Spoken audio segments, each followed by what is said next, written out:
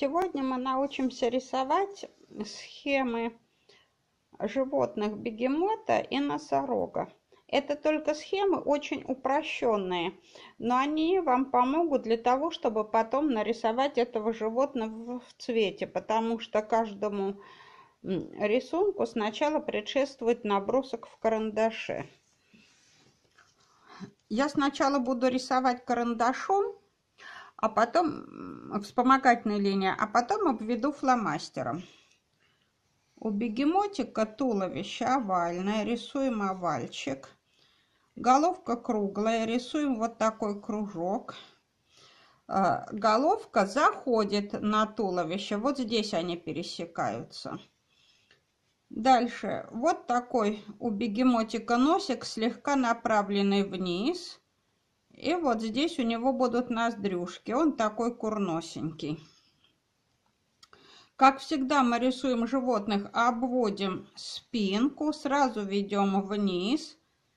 И вот такая у бегемотика ножка, довольно слонообразная, толстенькая ножка.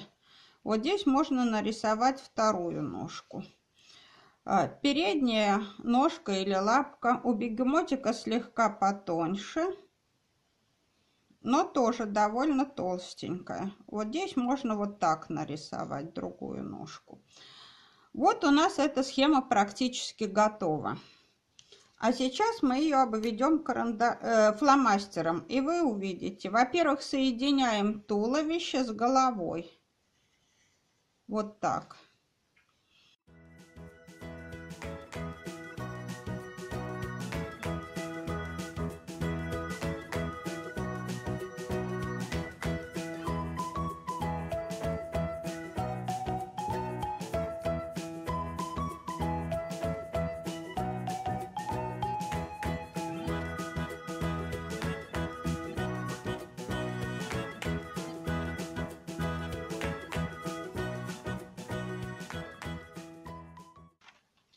Его чуть посложнее, но тоже легко. Такое же туловище, как у бегемотика, овальчик.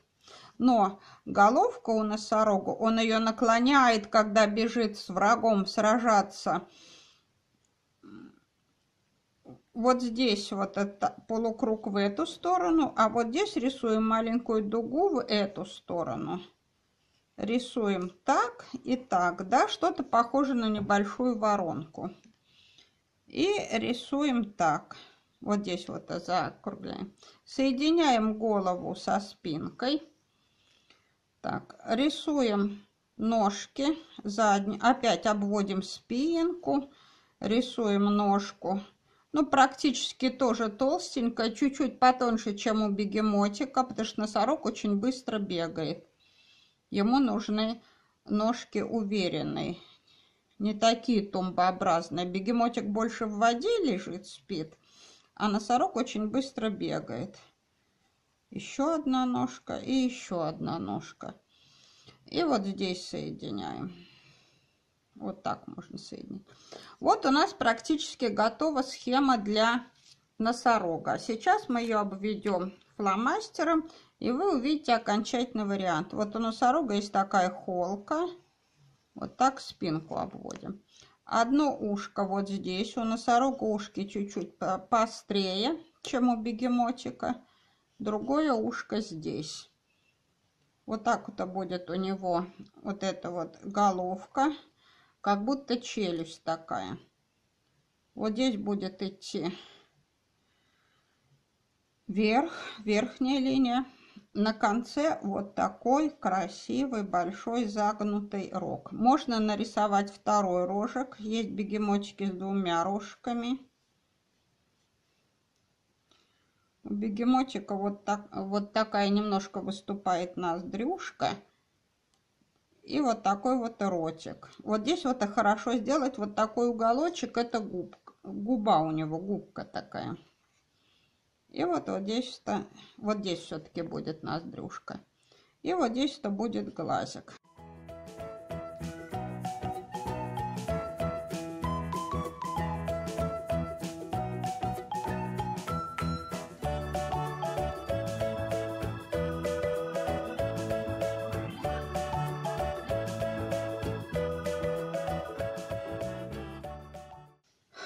Жирафа тельце треугольное.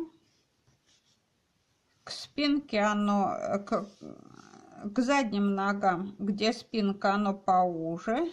Вот так можно схематично. А где грудка, там пошире. У жирафа довольно длинная шея, не довольно, а очень длинная. С треугольной мордочкой на конце. Ушки. Есть обязательно рожки у жирафа.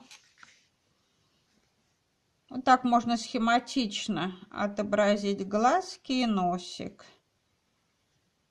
Можно даже вот так сделать ротик. Задние ноги у животных мы всегда рисуем так. Мы обводим спинку и после этого сразу опускаем вниз. Ножки у жирафика тоненькие и длинненькие. Очень длинные. Он, когда идет на водопой, они ему мешают. Ему приходится расставлять ножки, чтобы попить воды.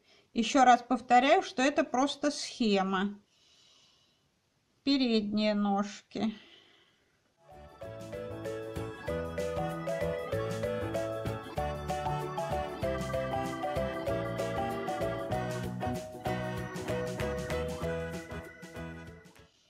Хвостик у жирафа. У жирафа есть гривка, она очень-очень короткая, не как у лошади. Короткая-короткая, но мы ее обозначим. Можно челочку обозначить. И, конечно, отличительная черта жирафика – это пятнышки. Пятнышки всегда к спинке побольше, пошире. К головке, к шейке поменьше и у животика они поменьше.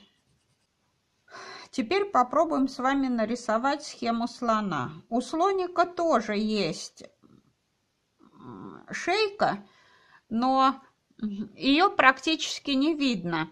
Поэтому мы будем рисовать э, туловище слоника сразу вместе с головой. Следите, ребята, всегда, чтобы ноги были на одном месте. И задние и передние на одном уровне, чтобы были. У слоника ноги как тумбы. Вот мы начинаем одну ножку как тумба. Сразу ведем спинку. И помните, я говорила, чуть-чуть поднимаемся вверх. Это сразу, вот здесь уже начинается голова слоника. Все знают, что у слоника есть хобот. Мы его вот так загнем. И вот так вот передние ножки. Как тумбы. Вот здесь он их составил вместе. Вот так. Можно нарисовать слонику пальчики. У слоника, конечно, есть бивни, глазик слонику. И такие большие-большие ушки. Вот там, где голова переходит в туловище, вот такие вот большие-большие ушки. И хвостик. Вот мы с вами научились рисовать слоника. Сначала нарисуем два круга. Один круг вот примерно такой, э, такого размера, учитывая, что вот здесь у нас будут ножки и хвост, чтобы место на листе бумаги осталось. Второй круг повыше и чуть-чуть сдвинут у меня влево. Нарисуем поменьше. И третий круг над этим кругом еще меньше. Ну, примерно вот такой. Теперь соединяем. Это голова, это грудь, это ноги. Теперь соединяем. Вот так соединим этот круг. Вот так соединим этот круг. Вот здесь делаем как бы шейку. Соединим. И вот здесь вот, вот так вот большой круг. Вот это вот спина.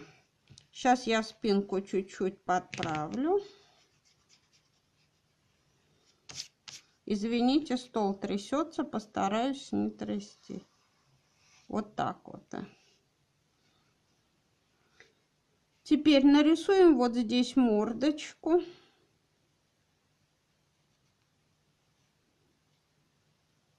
Вот здесь-то кончик носика. У кенгуру вот такие вот ушки. Вы помните, задние лапы у кенгуру очень-очень большие. Она, они, она на них прыгает. Они одновременно и опорные, и прыжковые. Вот такие они трехпалые. Это одна будет лапа.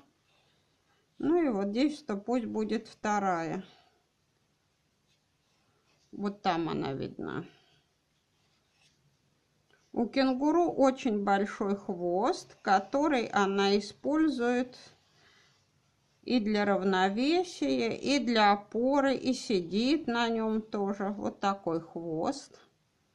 Теперь у кенгуру передние лапки очень маленькие, она ими берет пищу. Ну вот так примерно.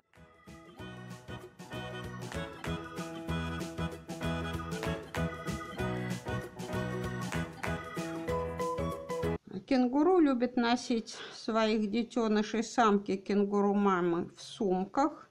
Кто хочет, можно нарисовать вот такую сумку.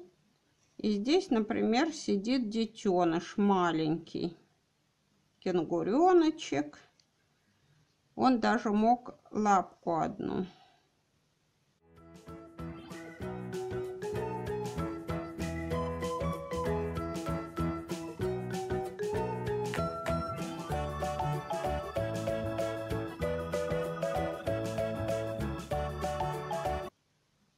Сейчас будем обводить карандашом, ой, обводить карандаш фломастером, немножко исправляя линии.